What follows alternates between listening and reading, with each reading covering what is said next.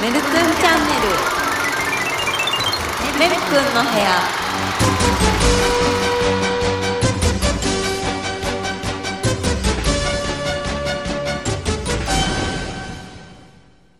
散歩中にパラレルワールドに迷い込んだ彼とメル君そこは不思議なそして不気味な世界でもあった。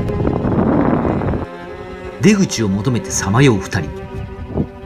そこで二人はある奇妙な生物を見た。それはなんだこの生物は？水の中にうごめく数千いや数万の黒い物体。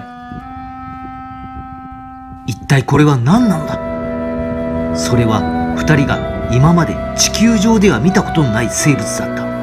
彼らは敵なのか味方なのか。それとも味方なのか敵なのか。彼らは襲ってくるのか。ではどんな方法で？武器は何？二人は彼らを倒せるのか。彼らを倒す方法は？いや無理だ。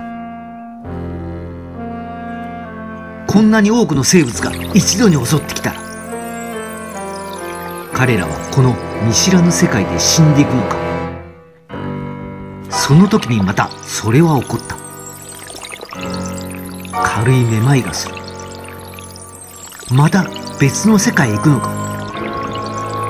それとも戻れるのか。やがて二人は静かにその場に倒れていった。次はどの世界へ。この世界は二度と現れないだろう。彼らは一体何だったのか。